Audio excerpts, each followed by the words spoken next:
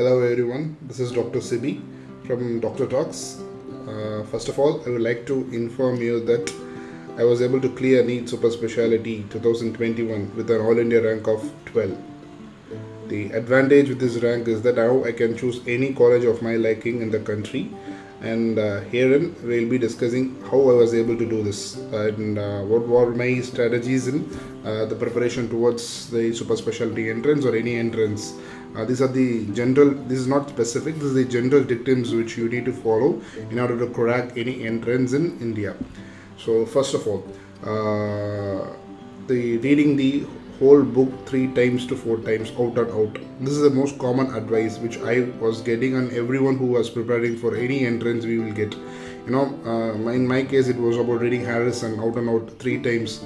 You know, or uh, reading Braunwald because I was preparing for cardiology. Reading Braunwald out and out three times uh, was the uh, most common advice that most of my seniors gave me, or a uh, few of my seniors gave me and this is the most commonly prevalent idea that you should read the standard books uh, three times and remember everything and retain them and reproduce them now the question is, is is it possible or is it needed? It may be possible for some people but what i'm asking is is it needed for you to crack this entrance now uh, you can either prepare the hard way or you can go for the smart way. My suggestion is that we prepare it in the smart way. So what do you mean by smart way? By smart way I mean that preparing those topics which can give a higher yield first then going for the entire uh, textbook I would say uh, 20% the Pareto principle that is what I'm trying to quote now the 20% of the topics will give you 80% of the results. So instead of preparing the entire text I think you should focus on the 20 at the first. Uh, once you are strong with this 20% which gives the maximum yield then you can go for the rest of the topic because there the returns is going to be very less for the amount of effort you put. So if you put your concentrated effort on these most important topics i think the result is going to be better. So now the question is how do you uh, find this uh, 20% of the topic? How do you know which where to prepare where not to prepare? I think this is where uh, the previous questions comes into picture you know every previous question paper will have some say 100 to 100 questions you know. These are like 100 topics. I don't want to go to the question interior i will say well, stick to the topics. These are 100 or 200 topics you know. Uh, from this 100 topics uh, you should start preparing with these 100 topics you know the latest year questions.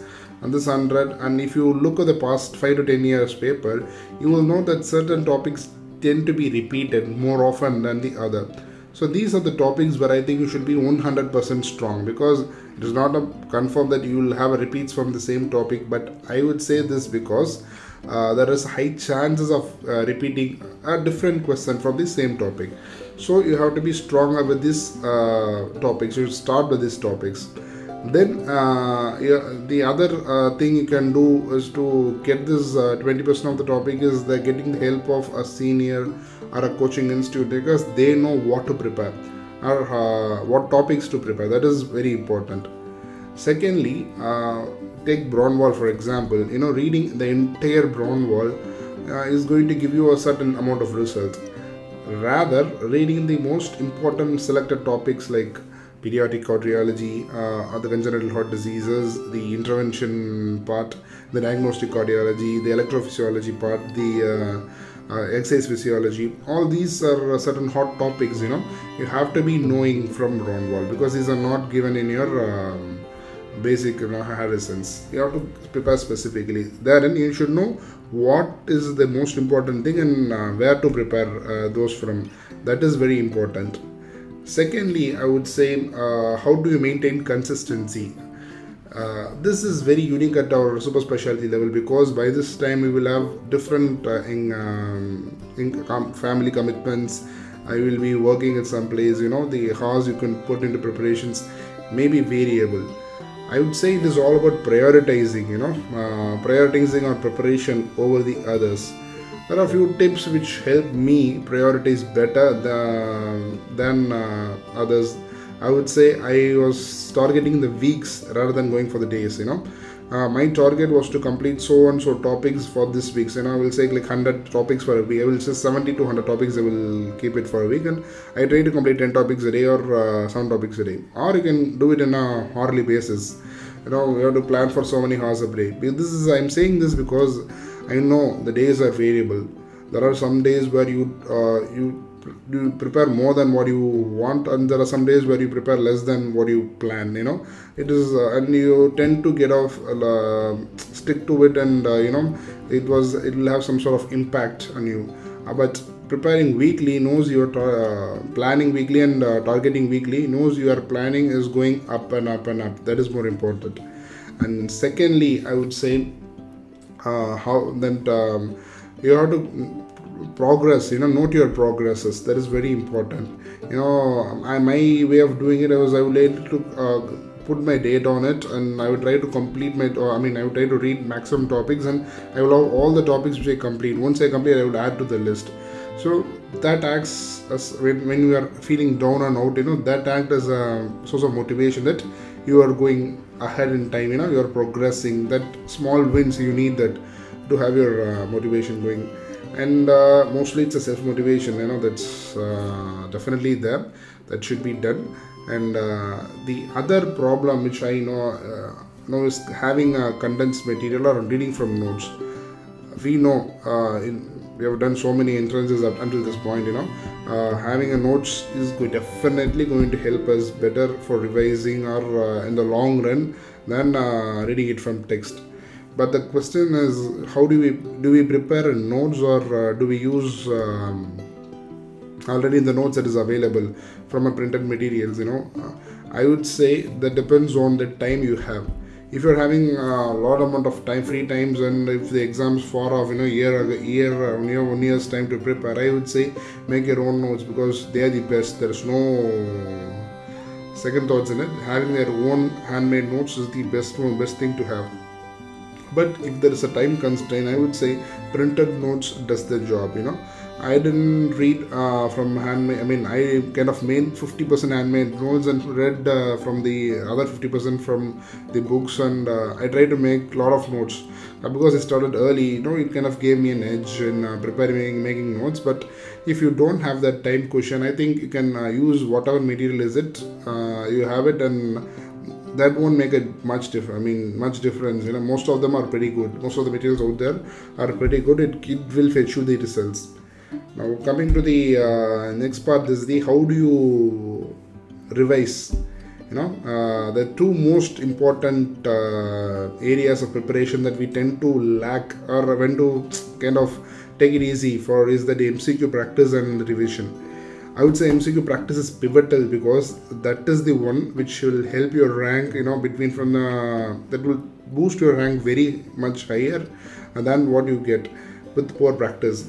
Because MCQ practice is more like uh, with the more you do, it comes automatically. You'll try to tend to get the correct answers. You know, uh, it's more like um, it's one thing that knowing a fact it's another thing is to apply them to choose the right answer or choose the choose the lesser uh, wrong options three options you know you'll have four options you get a one right options and three wrong options so it's all uh, coming down to this you should be able to uh, uh, rule out three bad options and one uh, good options you know. Uh, that is the game here you know. You, that comes with different practice. And uh, practicing mcqs also gives you another advantage in that areas which you are weak or the concepts which you are wrong. You know it helps you identify these areas and you should maintain a separate note uh, noting down the wrong facts the facts you get when you attempt an mcq you may you may get it wrong. That is may because you may not know a fact or you may have a wrong concept. If you don't have a fact i think it's if you can read in it better you can have it uh, written in a fact note. It helps and hand comes in handy in a relation. But if you have a wrong concept i think it's imperative that you go then and there and uh, strengthen your concepts. So mcq practice is pivotal. And um, it is uh, you have to be um, practicing mcqs there are a lot of sources available for uh, pg i mean uh, even a pg level uh, mcqs can also do good you know for super specialty a base for preparation i think uh, mcq practice is I, as i said it's very imperative and coming down uh, the revision you know uh, my revision strategy was that I was revising. I was not keeping the last 15 days or 20 days for revising exclusively. That's what I did, you know, previous years. But this time I was revising it then and there. uh, I will like I will go for one seven and uh, one two and seven and thirty. This was my plan of revision. That is, if I go to a topics, you know, I maintain the topic what I was saying, right? I just go through it in the next day. If I did the seven topics today, I will go through it very fastly. You know, I uh, will go. I'll try to ask questions about that, and if I try to answer it correctly, I will go through very fastly. If I make mistakes, I will go through the notes once again so by the third time or fourth time when you we keep revising it uh, it, it, kind of sticks it you know it kind of sticks it in your brain. And uh, secondly you have to go for the topics where you're weak. You have to revise them very frequently.